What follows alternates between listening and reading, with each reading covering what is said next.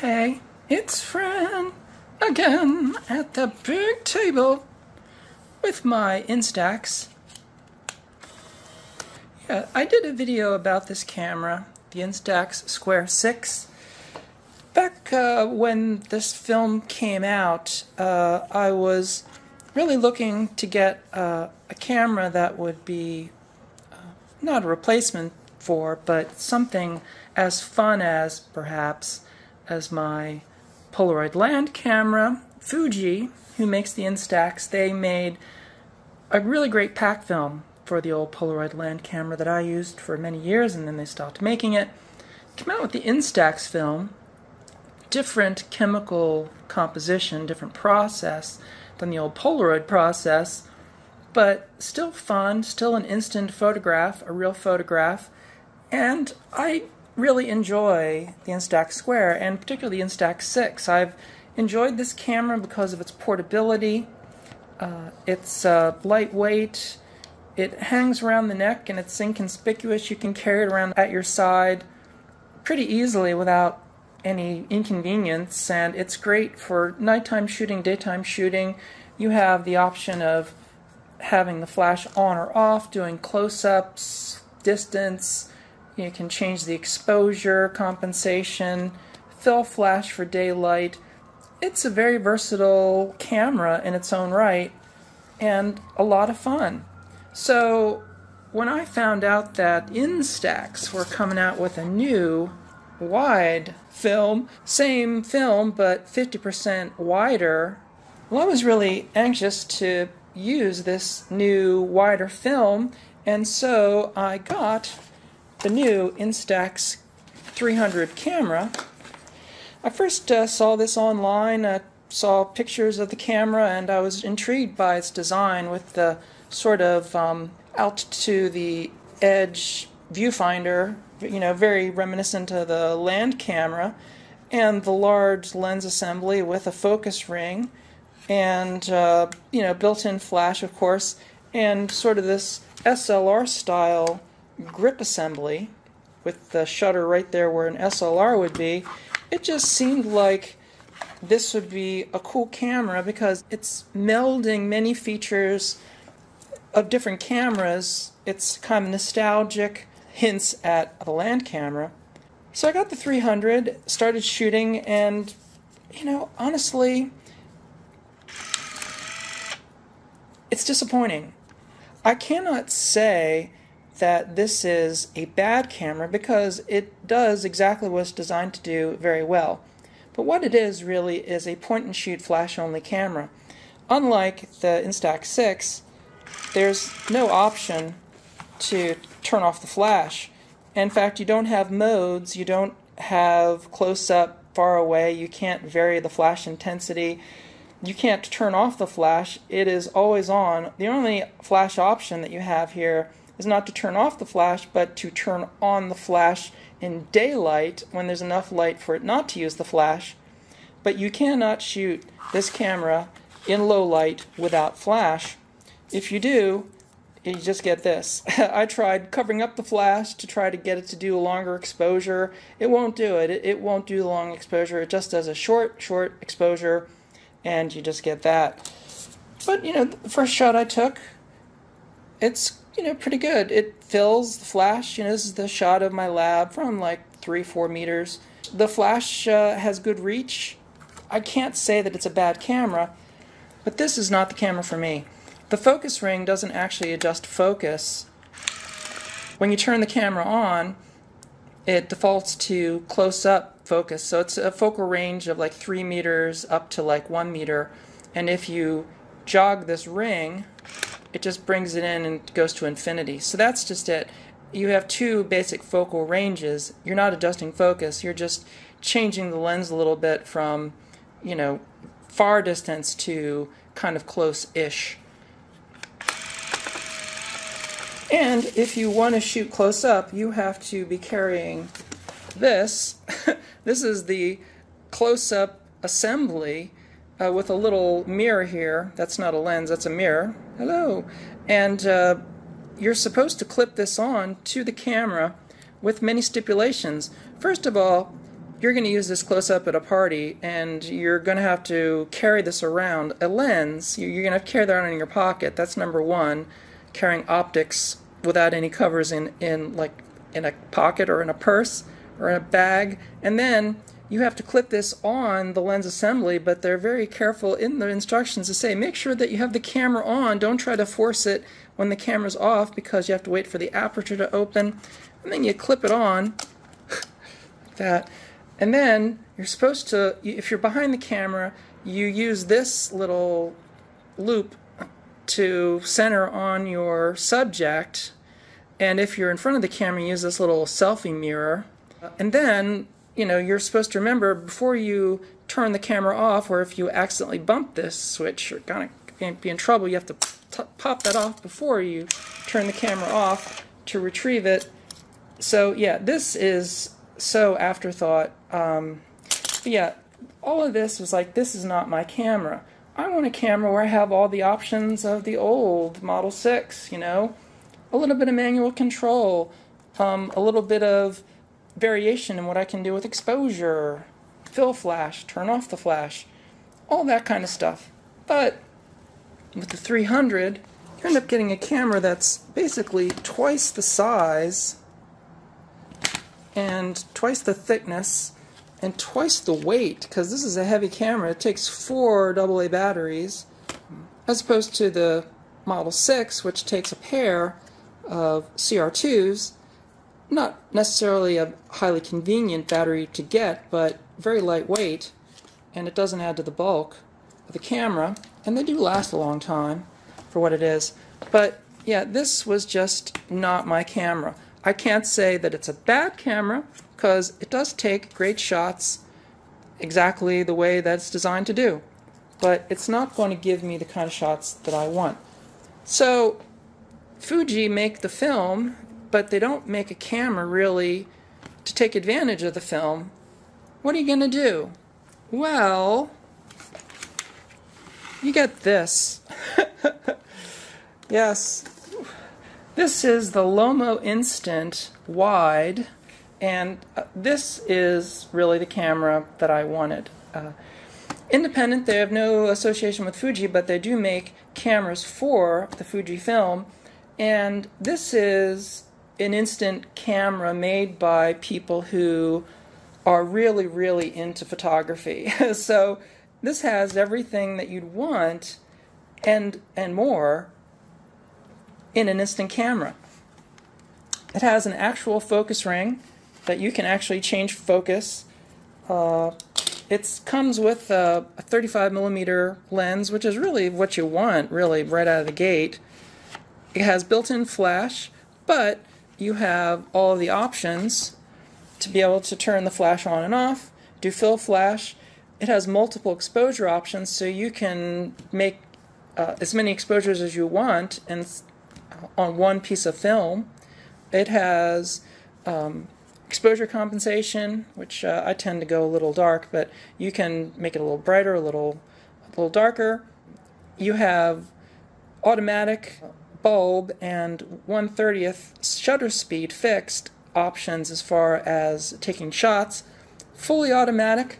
I uh, set it up, took my first shot full auto of the lab, and spectacular. You know, full automatic, full flash, no changes, a great shot. And, you know, because you have a focus ring, I was able to pull focus here because this is like three meters. So you have the option here, infinity, down to a mark at about, you know, one to two meters, and then bring it all the way in for down to 0.6 meters minimum focal distance. But because it's a 35 millimeter lens, you've got a very broad depth of field, so you don't have to worry about the shallow depth of field. It's f8 all the time, so yeah, you've got a pretty, pretty deep uh, depth of field, and it comes with all these accessories. So you get with it a macro lens, wide angle macro lens attachment. You get ultra wide uh, attachment, and you get this really cool doodad, which allows you to do um, sections of a frame for multiple exposures, you can do split frames, you know, in any sort of direction that you want. You can do quarters and you can do thirds. And uh, when you use the different lenses, like you use the ultra wide lens, you actually get a completely different viewfinder. So you can remove the standard viewfinder and replace it with the super ultra wide viewfinder, and you've got exactly the right parallax view. Yes, so. Uh, and you get a set of four of these uh, gels. So if you want to change the light of the flash, you can take the gel and there's a little slot right behind the flash cover. You can slip it in like that and cover the flash and now you've got a, a different tone on the flash for the color balance. Uh, very easy to lose these little gels. I almost lost one pretty much when I took the packaging open, uh, one of them got stuck to the side of the box and I almost lost it. These, I imagine you'd have to, you know, stock up and keep them on hand for wear and tear and losing, but very versatile. And my first roll with this camera, I explored, you know, as many features as I could. Took that first shot uh, of the lab, and then um, did the bulb feature. So bulb, it's kind of a lost in translation, but the bulb setting is manual shutter. So when you have it in the bulb setting, when you depress the shutter, it opens the shutter, and when you let go of the shutter button, it closes the shutter. So you do manual exposure. I guess bulb because it's like the old tin type cameras where you would squeeze a, a, a an air bulb to open the shutter and then let it go and close the shutter again to have that bulb shutter control. But yeah, so two second exposure. I just counted one Mississippi, two Mississippi. Pretty excellent, you know, just using regular ambient light at night. And so I experimented with some of the other lenses. Um, the macro lens, the it really is very, very close up. Uh, Unfortunately, one of the downsides uh, is that the website they don't have any data. At least I wasn't able to find any technical data about their add-on lenses, about changes in the focal lengths, changes in you know adjusting for focus, stuff like that. I really had to do some experiments, but the uh, the macro ultra wide it really is very very very close up. So you have to be about you know 10 centimeters to like 15 centimeters away is really where the focal range is. So this was like half a meter and it was way, way out. So um, a little experimentation. Uh, here's a shot I tried with it using the bulb setting. Two second exposure of my Lumitime clock at night in the dark, uh, up close, and kind of had to eyeball it because when you're shooting something like this, you really can't use the viewfinder when an object is right here. You just kind of have to like X, Y, Z it to find, you know, it's, yeah, that's about about right. There's a lot of sort of how you doing in the process, but but yeah, the that really works. And so that led me to this. This is a, a shot I took. This is a multiple exposure. This is four different exposures. I was using the mask here uh, with a quarter opening and this is four different exposures. And each time that I took a different exposure, I used a different gel. So I used all four different gels on the flash, and each one is a flash shot. And so uh, when I put the uh, cover on the lens, I just rotated it 90 degrees for each shot. And uh, after the third exposure, I accidentally bumped the tripod, but I was able to nudge the tripod back and kind of eyeballed it, and it it, I got it pretty much spot on. I can't even tell which one of the four exposures is actually the one where I reset it, but but that's the effect you get for um, doing a multiple exposure. It's pretty seamless. And then uh, I took this one. this is a this is a, a triple exposure. Frightening, I know. Uh, yeah, this is done uh, underexposed. I put the exposure compensation down, did the one thirtieth of a second exposure time with the flash so that the background will be darker so that I don't have the issues with the with the you know the background of the room bleeding into the other parts of the frame. Once again, using the Splitzer, did uh, did like yeah yeah so yeah so I did it uh, one side here and then rotated it that way and did the other side there and then split it to the quarter and did the upper quadrant for the third exposure and got all three. Frightening. The subject matter is very frightening, but uh, yes, this really shows you what you can do with a camera like this. It's a lot of fun. A couple up close shots again with different colored gels, doing multiple exposures with the ultra wide, but again, it's with the ultra wide the it's you got to be really close uh, to use it. But yeah, you got to go through a roll of film really to discover how to get the distances and exposures right for the different lenses. So this is definitely the camera you want, but there, you know, there are a couple of issues, uh, small things about uh, the product package. Number one was how I got it. You know, when I get a camera, even one that I'm not really going to use, usually comes with a box and I keep the box because when I'm not going to use the camera or if I retire the camera, I want to put it back in the box that it came in and stow it with all the accessories. But for the Lomo, I can't really do that. This camera came with a box. Well, not rather than coming in a box, it came in sort of this hard, heavy cardboard ring uh, with a bunch of internal packaging that uh, I actually had to destroy to extricate all of the little bits out.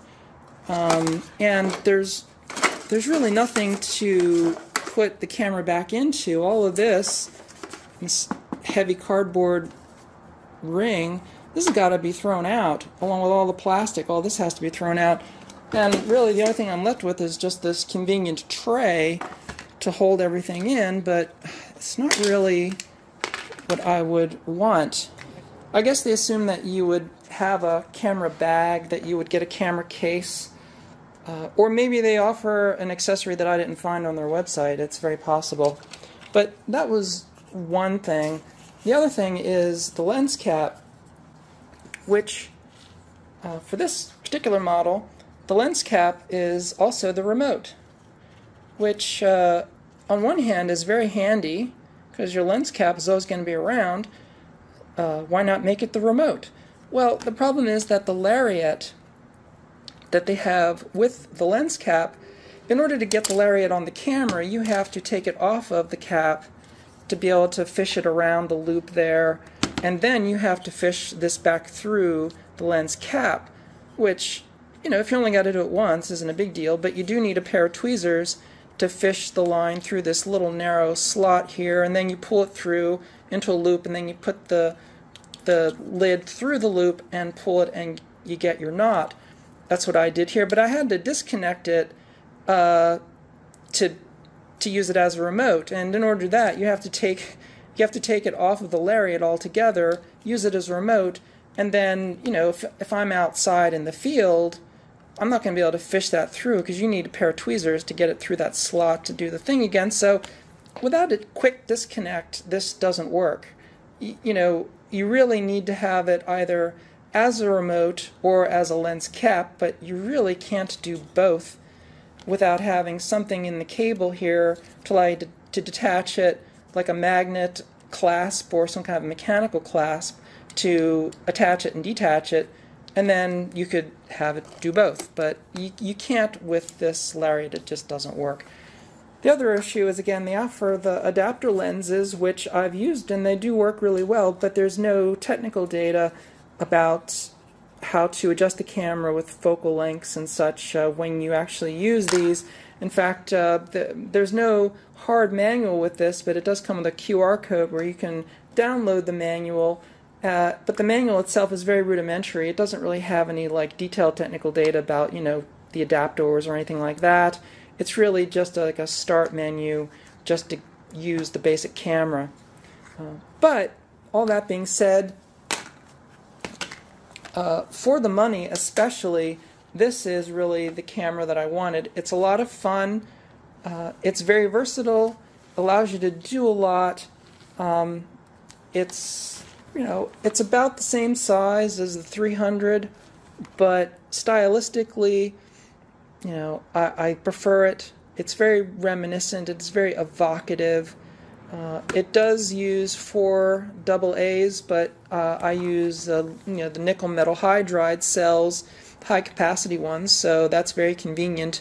It doesn't really add to the bulk of the camera because of the way that they've made it like a stack on the side.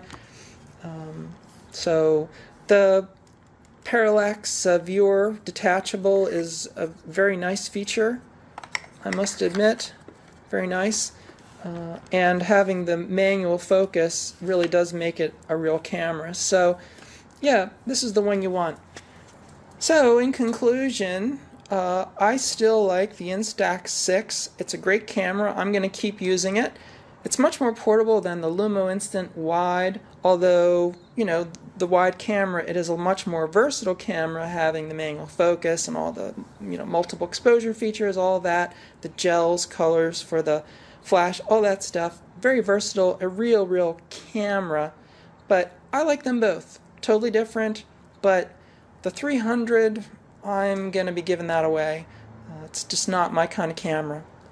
But I have to say, I really do like the new wide aspect ratio Instax film. It just makes it for a much more versatile media.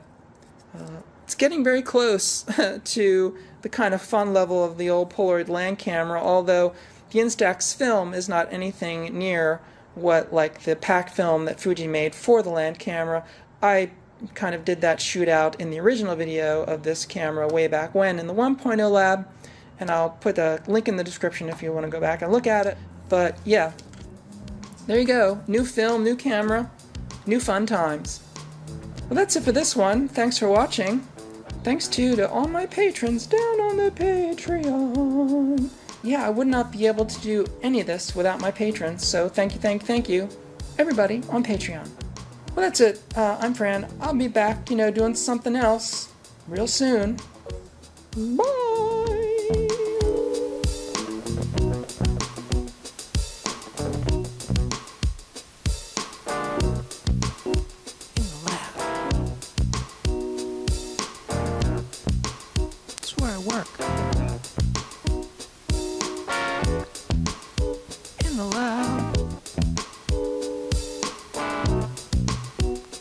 Go